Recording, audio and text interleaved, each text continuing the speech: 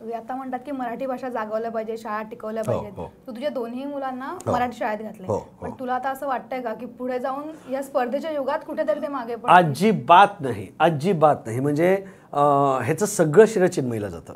मी फक्त मम म्हटलं ती मला म्हणाली सुमित मला मुलांना मराठी माध्यमात शिकवायचं आहे मी म्हण ओके.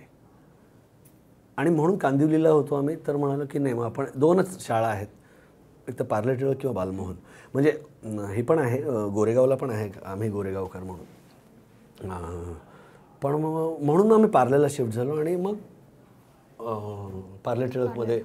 पण नाही ग मला असं अजिबात नाही वाटत. म्हणजे किंबहुना आज दिया माझी लेक ती कात्रजला फोटोग्राफी आणि सिनेमॅटोग्राफीचा डिग्री कोर्स करते भारती विद्यापीठमध्ये.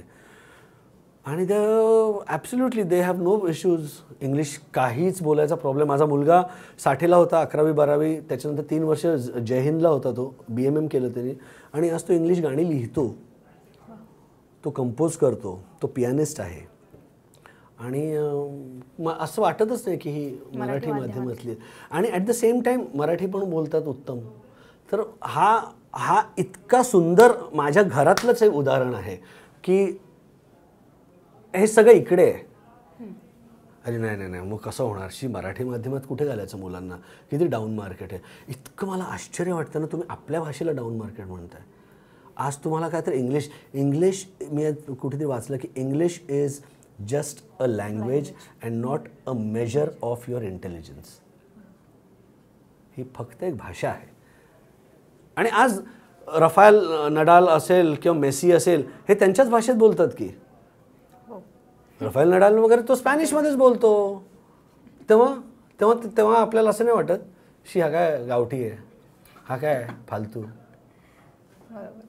त्यामुळे इट इज मला भयंकर मला आणि चिन्मेला आम्हाला भयंकर अभिमान आहे की आमची मुलं मराठी माध्यमात शिकले पण जसं तू म्हणालास तसं की याच्यामध्ये पालक यांचा खूप महत्त्वाचा आहेच. आहेच. पण मग आता एक्झॅक्टली ही जी पालकांची मानसिकता आहे की मराठी भाषेत शिकलो तर पुढे स्पर्धेच्या युगात माझी मुलं टिकतील की नाही तर त्यांना तू काय सांगशील की इंग्लिशला कसं एक्सप्लेन मला असं वाटतं की ज्यांना ज्यांना असे प्रश्न पडतात त्यांनी प्लीज माझ्या घरी यावं त्यांनी प्लीज नीरद सुमित किंवा दिया सुमित यांच्या ह्यांना टॅग करून त्यांच्याशी तुम्ही संवाद साधा.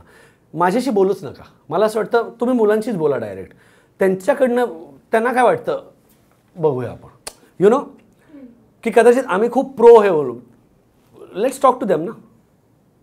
त्यांच्याशी बोला. आणि हे नाही मला इट किती म्हणजे ना मला इतकं काय म्हणू त्याला आश्चर्य वाटतं की आज हा मुद्दा झाला आहे की अरे वा तुमची मुलं मराठीमध्ये हा कसा काय मुद्दा होऊ शकतो ना?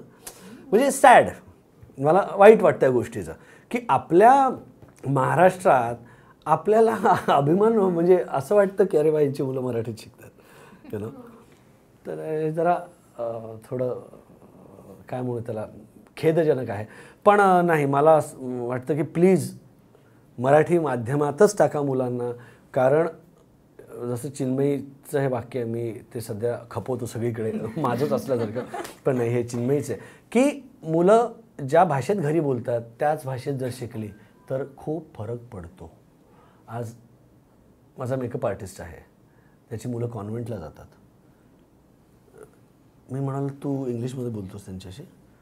नाही सर मला कुठे येते इंग्लिश? मग का घातलीस रे तुझ्या मुलांना तू इंग्लिश मिडियममध्ये हां? ते समजा एखादा प्रॉब्लेम घेऊन आले की पप्पा मला हे जर समजाव तू काय समजवणार त्याला? हो सर पण आता काय करू ना? आता इंग्लिशच आहे ना सगळीकडे सर मी म्हणू की अरे नाही रे. आणि मला वाईट वाटतं की तो माझा मेकअप आर्टिस्ट आहे. मी त्याचं मत नाही मन नाही बदलू शकलो. पण या प्लॅटफॉर्मद्वारे मी असं सांगू इच्छितो की प्लीज मराठी माध्यमातच शिकवा मुलांना. आणि काही नाही तुम्ही त्यांना त्यांच्यासाठी इंग्लिश साहित्य त्यांच्यासमोर ठेवा. त्यांना ते वाचू द्या. पण शिक्षण हे मराठीतूनच करा आणि याचा खूप फायदा होतो.